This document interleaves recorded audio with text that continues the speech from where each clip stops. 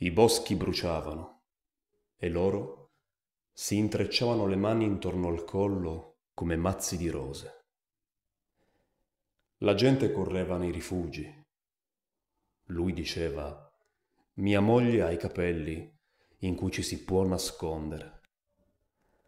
Avvolti nella stessa coperta, sussurravano parole prive di vergogna, litania da innamorati.